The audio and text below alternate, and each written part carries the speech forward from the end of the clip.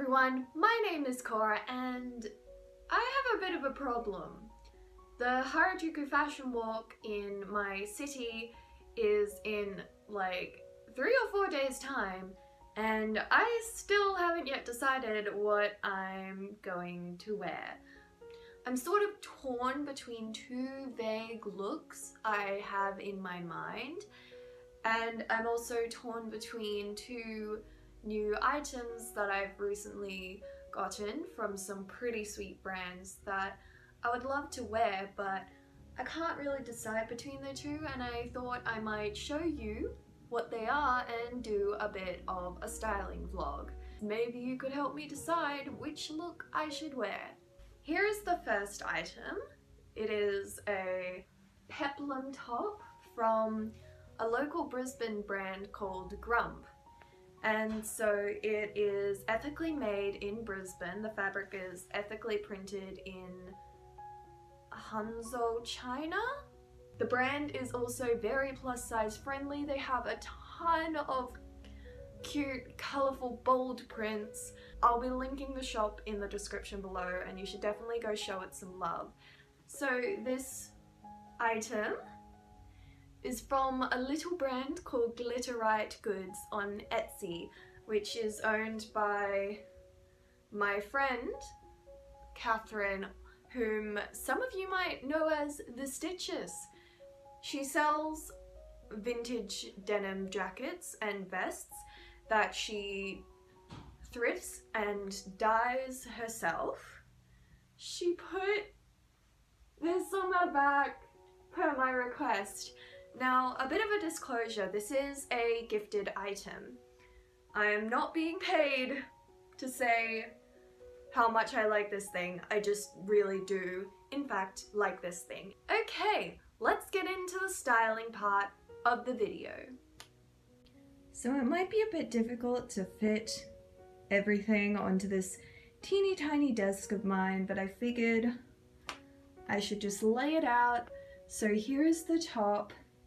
With both of these looks, I plan on playing around with a lot of layers. First, I am going to add my rainbow turtleneck underneath. I think this will just look so cute. The little sleeveys peeking out from the sleeveys and the little neck hole peeking out from the neck hole.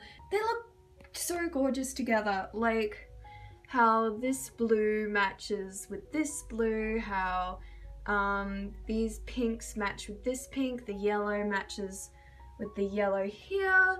I just think it's going to look so cute, but that is not the only layer I plan on adding. Say hello to this cardigan that I was wearing at the beginning of the video and now I've got to put on a new one. So yeah, I'm gonna probably drape this around my elbows so that I can expose the cute rainbow sleeve part here. I just think that would look so, so, so adorable. like, yeah, just, just imagine it. And now for the bottom part, this pleated pink gingham skirt that I made with my granny a while back gonna look so adorable, layered under the little peplum. You know I am a sucker for pattern mixing, and this pink matches this pink so well. This is sort of where I'm a little bit at a loss of what to do now. Mostly in the realm of legwear. Now the problem with layering this skirt, these tights, these rainbow socks and these shoes is it's basically the exact bottom half of a previous outfit that I've created. Now, I usually try to destigmatize outfit repeating, but part of me wants to, for an occasion as special as the Harajuku Fashion Walk, which only ever happens in my city once a year, I kind of want to have something new and I kind of want to break up the pink of the skirt and the tights somehow.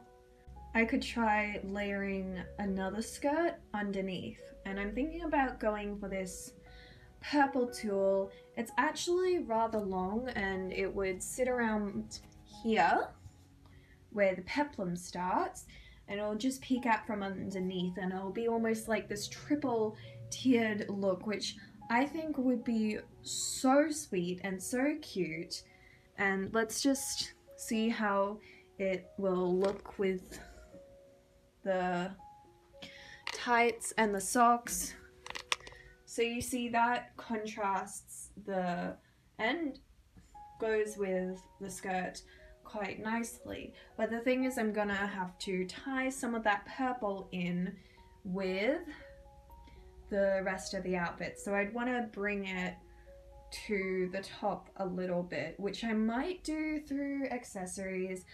I have a few things, accessories that I want to add that I think will really bring in that nice shade of purple. So here are all of the accessories I've added. Um, also, the cats decided that they absolutely had to be in here.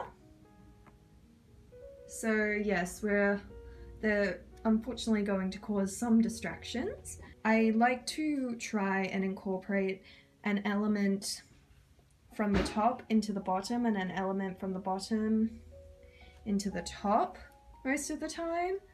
Excuse someone being noisy in the kitchen, but for to match the purple skirt here, I tried to pop in like little bits of lighter purple or like that or like I completely forgot about this but it was nice to dig that back up again. A few of like these star gems, which I, they're basically craft gems that I like to stick onto my face with eyelash glue so I can reuse them over and over again unlike stickers. You also get a bit more of sort of, I guess, the darker purple to match this purple here. Same with like these hearts, which used to be stuck onto those glasses, but I ripped them off. And I figured the glasses would be important because I don't know how to do makeup or eye makeup and I can I like to wear glasses to hide that fact. You'll notice um, with my iridescent YRU shoes, I decided to bring in this necklace and this little hair clip bow that I clipped onto there. There's also a bit of holographicness in these earrings and these earrings are the same shade of blue as this stripe and this top so I thought that they would go very nicely together. Like the star ring is a free gift that I got with the vest that I showed you before. If you can't already tell this is coming across very Decora like. You've always got to wear a minimum of three necklaces but I'm wearing four I wonder if I can somehow squeeze another one in. Instead of wearing hair clips in my hair, I decided to put them along the side of the beret and I will have this side of the beret on the side of my head that doesn't have gorgeous cascading locks of curly, wavy ginger hair. The beret I just thought would be like super cute and feminine as well. And I love hats, they really complete a look. And they also hide the fact that I don't know how to style my hair either. And sometimes you just have a bad hair day. I just wanted to mention that I forgot to pop this bag in with the rainbow decor look. I got it secondhand off Depop and I really like it and I really want an excuse to wear it out. This is look number one. Let's move on to the second look that I am also considering. So the next item that I am going to style is this vest. I want to use the vest to bring like a punch of punk to an otherwise rather soft and dainty cord. The main piece that I plan on wearing with this vest is this dress from my favorite brand, as you know, Clean the label. You would have seen this in my pastel rainbow haulternative and if you haven't watched it yet I will put a link to that in the description below and you would have seen me lose my mind over how gorgeous this dress is. You can't really see the top so much up here but it's there and it, it'll be slightly more visible when it's actually on my body. But yeah, I just think that for a dress as soft as this, layering this over it just brings it to like a whole new level. It just makes it into a whole new look. And also, if I'm going to be wearing a vest that says Eco Girl on the back, you bet I'm going to wear some of my most eco-friendly clothing with it because this dress is made out of um, fabric scraps and unwanted bed sheets. It's just, I love that scrappy, that patchy aesthetic. It It's gorgeous. But since it is winter in Australia right now, it is going to be cold at the Fashion Walk, which is why I can't just wear sleeves this short and um, let my arms be exposed. It actually looks quite amazing when layered under this pastel rainbow vintage shrug, which you also would have seen in my haulternative. And so you may be thinking, oh, but it'll cover up the design on the back, which is again why I will probably drape it around my elbows because, you know, I want to show the world that I am, in fact, an eco girl. So as you can see, the tights and the shoes have made a return. The tights look like they're quite dark compared to the rest of the outfit, but you have to remember that when these are on my legs, they're going to be rather stretched out, so they'll look a bit lighter, and the pink will match the pink on the vest a lot more.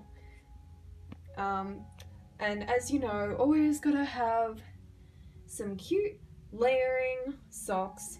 So I decided to go for some mint socks to match the mint dress. I know it's a bit more pale and it's sort of hard to read the color in this light, but I'd layer them with like these sheer blue socks and the blue here kind of matches the blue on the shrug here.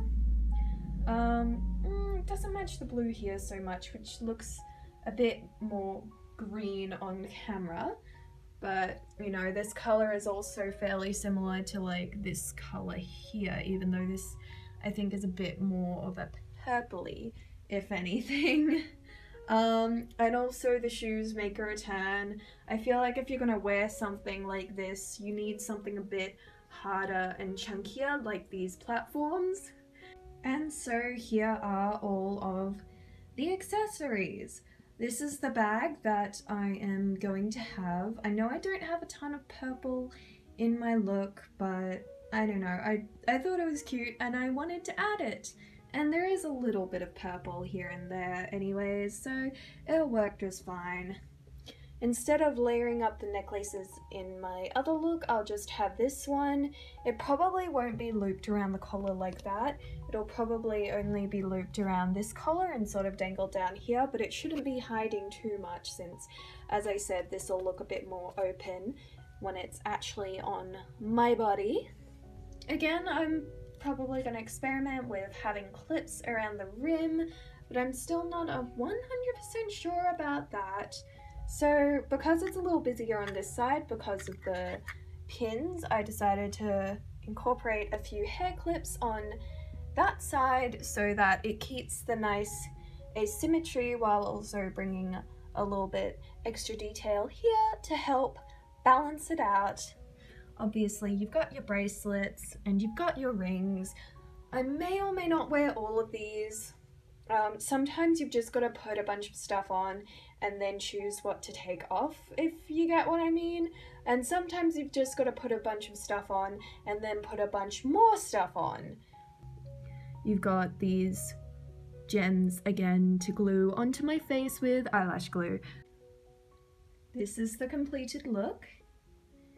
Which do you prefer? This one? Or the other one that I showed you?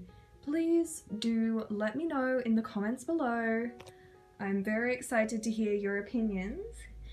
I just feel so lucky to live in this world full of beautiful clothes because at least deciding between two beautiful outfits to wear is a pretty sweet problem to have. Hello, so I just thought I'd film the outro here, just holding the camera because my phone is low on battery and I just want to get this filming part over and done with. I hope you really enjoyed this sort of styling vlog. I know this is the kind of content that I personally would love to see more in future and sorry for not trying stuff on. I wanted to leave that how the looks look on me as a little bit of a mystery so that you're not spoiled for the Harajuku fashion walk. So definitely look forward to that. Hope you enjoyed the video. Please subscribe if you want to see more content from me. If you're still not convinced, definitely go check out my channel. Okay everyone, bye bye!